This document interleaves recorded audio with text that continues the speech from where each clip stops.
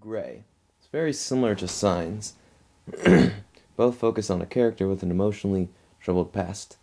Signs was not a big sci fi action film with the aliens always in focus. No, no. It was more of the aliens were in the background. In this, the wolves can be seen in the background. They really just sort of form as really just an obstacle for the characters to get over. A very difficult obstacle, of course. But, anyways, on to the review. Our main character, John Otway, played by an excellently casted Liam Neeson. He works at this land based oil drilling facility. His job is to keep unwanted pests away from it, aka wolves. This is all visually explained in the first five minutes. Um, well, pretty much it's just shown really what he does while he's monologuing about a letter he's writing to his wife. We don't exactly know what he has what happened to his wife, but he does say this that um, he does say this, why am I bothering to write this when I know I can never see you again? Very quietly. Liam Otway, John Otway, is a really interesting sort of character. There's this great scene where he's just in a bar, just everything's just sort of going to pieces around him. He's just sitting there calmly having a drink. Very well directed scene. And then it's just pretty much just the madness around him. He's the only real sane thing in the room. But then he realizes, you know what, screw this. He goes out of the bar, sets his rifle up, sticks his and sticks it in his mouth. But he's he's just about to pull the trigger, but then he stops when he hears a wolf howl. this opening was done perfectly, very well directed and very well acted. Moving ahead a bit, Otway boards a plane, plane crashes, only eight live, including him. Plane crash was also done very well. It builds and builds. When Otway wakes up, and what it is just before it crashes, Otway, there's a vision. Otway has a vision of him and his wife just in bed together, just chilling, well, sort of cuddling up together. Really cute. The plane crash. Let's see. I wrote this down. He looks for survivors. He finds seven survivors. Well, six. One person. Well, one survivor has a big gash in his abdomen. Looks like he's hitting a major artery and probably some of his guts. And oh wait, the character's name is Flannery. He goes right up to Flannery, analyzes his wound, goes right to him, and says very quietly, "You're gonna die." Now, this is really interesting. I mean, normally in a movie like this, they'd say, "You know what? Just think of something nice," while they try to just speed up the process. But this was interesting. He just says to him very quietly, "You're gonna die." The viewer, the view, the audience knows Flannery's gonna die.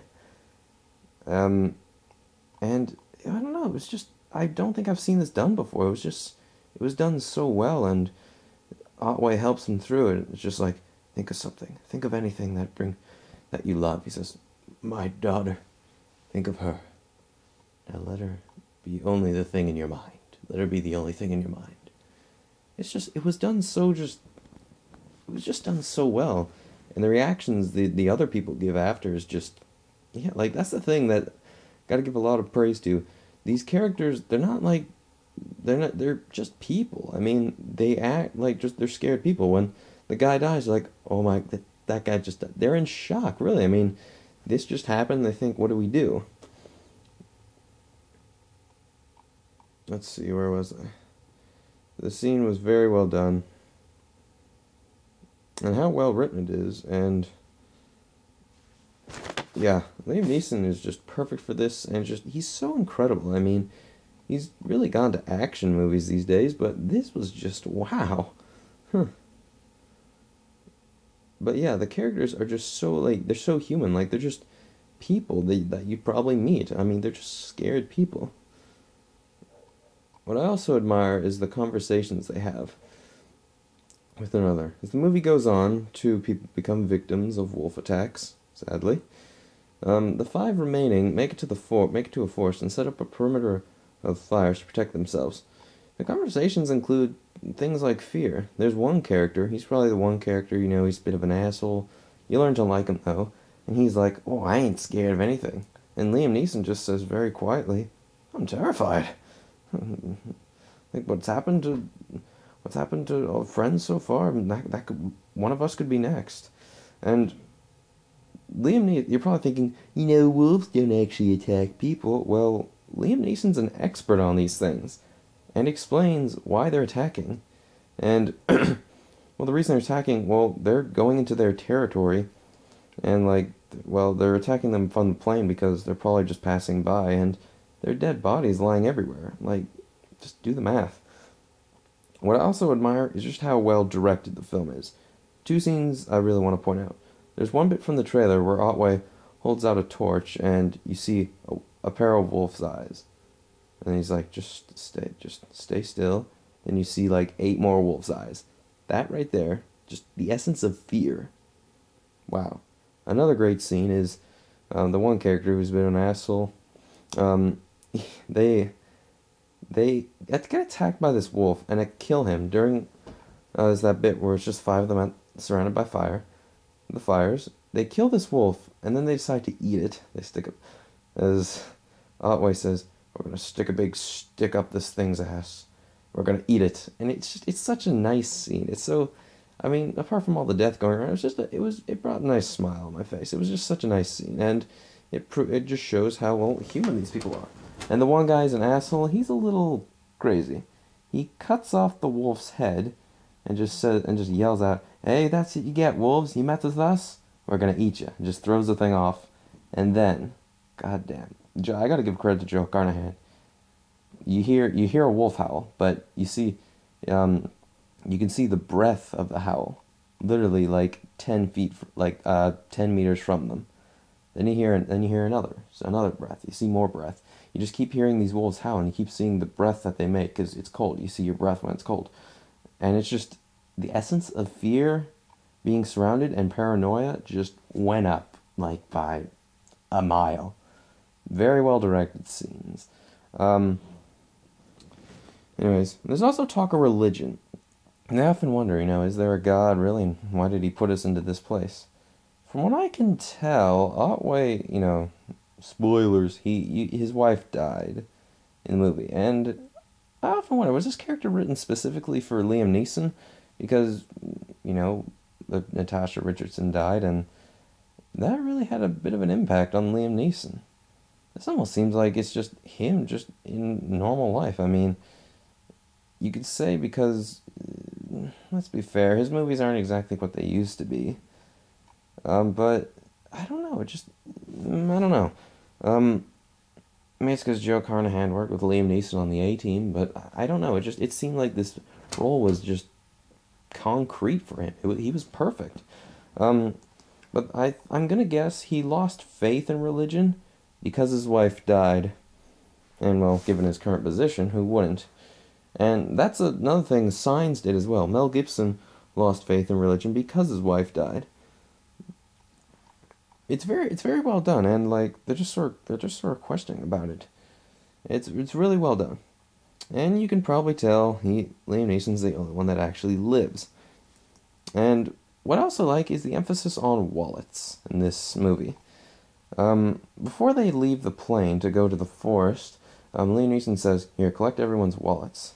So if we we can just tell the families who lived, who didn't, like, just as a little it's explained in the movie. um, it says collect the wallets for the families.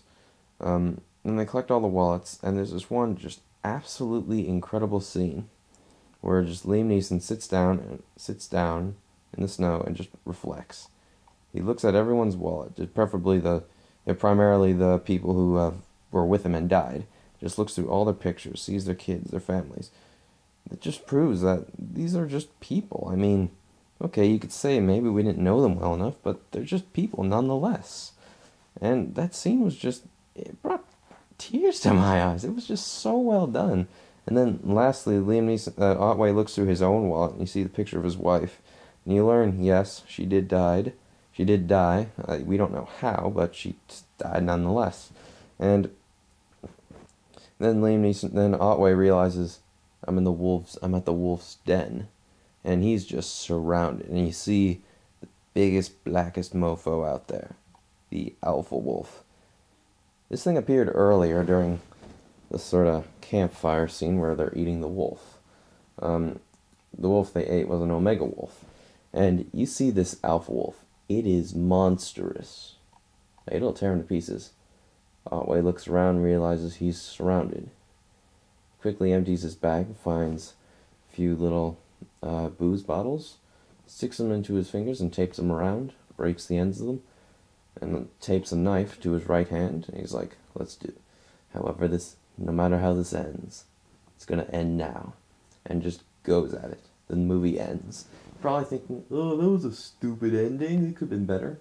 Well, it was actually, it's pretty effective. I mean, and if you actually sat through the, the credits, you'll learn he actually defeats the Alpha Wolf. But I think it's severely injured in the process. But other than that, this is by far the best film of 2011, of 2012. I mean, let's be fair, a lot of stuff that's come out now is pretty bad in 2012 so far. I mean, yeah, there's gonna be some great stuff coming out later, but just for now, this first few months. Um, very well done. Liam Neeson is just wow, he's incredible. But very well directed, I must say. Joe Carnahan films, he's only done a few, some were better than others, but this was just wow. Um, I have to give a lot of praise to him and Liam Neeson as well. Um, I don't know what to say. I give it a solid 9 out of 10. This is one, one of the best films of this year so far.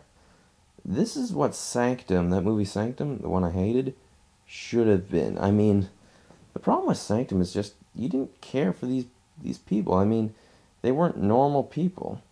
I mean, everyone in it was practically an asshole. I mean, even the father. I mean, yeah, the father's experience. He just wants to keep everyone safe, but even he's just sort of sit there grouching at everyone. I mean, Liam Neeson. He's just he's like he's aggressive, but he's at the same time like he's scared shitless. I mean, he didn't expect this to happen. Like he's in shock. Um, but very well, not very amazing nonetheless. Um, I wouldn't mind watching it again, but it is intense, and these deaths are graphic. And I should probably address this. There is a black guy in the movie, but he's not the first to die. He and he actually dies the peace, the most peaceful. He um, he kind of freezes to death, or has a stroke. Not enough oxygen gets to his brain. I think he freezes. Um, but very good nonetheless. Um, and the title, of The Grey, I guess refers to wolves. It can't be called the black, not piss people off. Can't be called the white, not piss people off. Jeremy Jahns. But very good nonetheless. Um, already making my award predictions. Who knows? I mean, Liam Neeson is just amazing in this. He's tough. He's aggressive. He's emotional. He's great. He's scared. He's he's Liam Neeson. He's just a phenomenal actor. Um, I'm curious what his next big film will be. I mean, he's gonna be in Wrath of the Titans and Battleship. I could see them being bad, but if he can do another film like this, and if Joe Carnahan can get can do another film like this, I'm on board. Um, this was great. Uh, but these these deaths are graphic. Like some people get just ripped to shreds. One guy gets his dick bitten off. He's taking a piss and a wolf attacks him. His guts get ripped out. It's graphic. But yeah, but he just made these people so human. I will admit, and um, they need to mention a few names. I mean, you only learn Liam Neeson's name, John Otway, like when it's just like the, there's just three people left. One guy gets it off easy, and you don't know how he dies. Um, but I do like the sort of transition. You know, he just Otway hates his life, and then he's fighting for his life. That was just so well done. Very, very good film. Would recommend it. Um, best film of 2012 so far. And who knows, maybe it'll be one of the best films of the year. Who knows? Um, that's all I have to say. I give it a 9 out of 10, and I'll see you later. Bye.